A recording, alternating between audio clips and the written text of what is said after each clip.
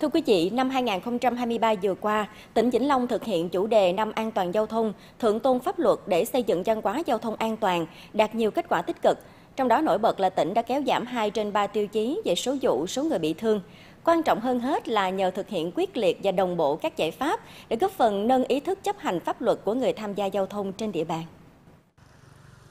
Năm qua, được sự chỉ đạo tích cực của tỉnh ủy, Ủy ban nhân dân tỉnh, các sở ban ngành và các địa phương, triển khai đồng bộ, quyết liệt và kịp thời các giải pháp đảm bảo trật tự an toàn giao thông, nhất là đẩy mạnh công tác tuyên truyền. Các lực lượng chức năng đã tăng cường công tác tuần tra kiểm soát, xử lý nghiêm các hành vi vi phạm về trật tự an toàn giao thông, đặc biệt xử lý vi phạm về nồng độ cồn, vượt quá tải trọng xe, chạy quá tốc độ quy định, nên tai nạn giao thông giảm 2 trên 3 tiêu chí về số vụ, số người bị thương, không để xảy ra tai nạn giao thông đặc biệt nghiêm trọng. Trong tổng số hơn 16.200 trường hợp vi phạm bị xử phạt năm 2023, có trên 3.200 trường hợp vi phạm nồng độ cồn, chiếm tỷ lệ gần 20%. Trong 145 vụ tai nạn giao thông, tai nạn có liên quan đến nồng độ cồn là 50 vụ, chiếm gần 35% tổng số vụ. Qua cái ờ, thực hiện ờ, xử lý về vi phạm nồng độ cồn thì ý thức của người dân, người tham gia giao thông có sự chuyển biến tích cực, người điều khiển về phương tiện giao thông thì ít sử dụng rượu bia hơn so với trước đây. Đây là tín hiệu đáng mừng của người tham gia giao thông.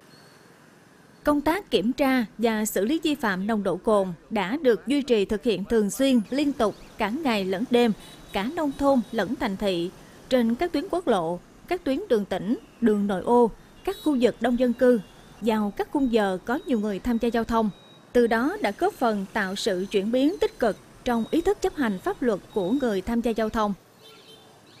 Tôi thấy là, là kiểm tra như vậy là là bớt cái cái nậu điệu tai nạn, chủ trương đó tôi rất đồng tình. Cảnh sát giao thông ngoài từng tra và còn đo độ cồn thì dân ở đây cũng thấy có hiệu quả tuân thủ theo khi mà điều khiển xe thì không có rượu bia lái xe có rượu bia thì nó không ờ, tỉnh táo với lại nó không không đảm bảo an toàn vì vậy ờ, tôi mong ờ, cảnh sát giao thông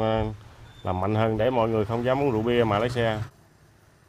để phát huy kết quả đạt được và nâng cao hơn nữa hiệu quả công tác đảm bảo an toàn giao thông trong thời gian tới, Ban Giám đốc Công an tỉnh chỉ đạo lực lượng cảnh sát giao thông tiếp tục làm tốt công tác tuyên truyền pháp luật về trật tự an toàn giao thông sâu rộng trong nhân dân,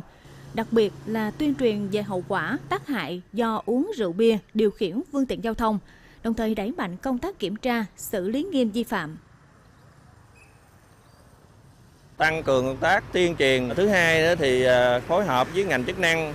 à, rà soát những ờ, bất cập trong tổ chức giao thông để kiến nghị ngành chức năng à, tháo gỡ kịp thời phối hợp đồng bộ trong cái tuần tra kiểm soát góp phần kiềm chế tai nạn giao thông xảy ra trên địa bàn tỉnh. Công tác tuyên truyền pháp luật về giao thông được thực hiện đồng bộ, lực lượng chức năng quyết liệt trong thực hiện nhiệm vụ tuần tra kiểm soát, chế tài, xử phạt đủ sức răng đe, và ý thức tự giác chấp hành pháp luật của người tham gia giao thông sẽ là tiền đề quan trọng để tỉnh Vĩnh Long kéo giảm tai nạn va chạm giao thông trong năm 2024 và những năm tiếp theo.